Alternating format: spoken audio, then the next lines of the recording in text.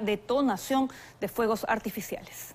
Se quemó el modelo, amor, se quemó el modelo. Se quemó el modelo, vieja. Lo que iban a ser las compras de Año Nuevo terminó en un infierno.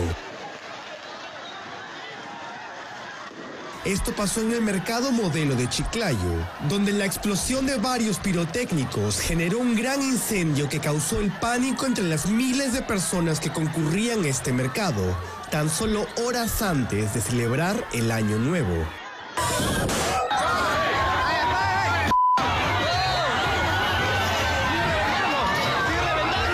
De acuerdo con las autoridades, el móvil del siniestro fue la detonación de fuegos artificiales por parte de comerciantes ambulantes.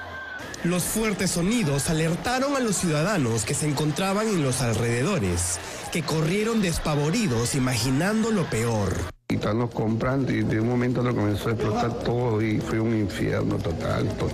Mientras tanto, efectivos policiales trasladaron a seis personas heridas al hospital Las Mercedes, donde continuarán con su recuperación. En 2001, 277 personas perdieron la vida a causa de un incendio causado por pirotécnicos que se vendían sin supervisión en Mesa Redonda. En el caso del mercado modelo de Chiclayo, no se registraron víctimas mortales. Sin embargo, es necesario que las autoridades fiscalicen la comercialización de pirotécnicos para evitar mayores tragedias.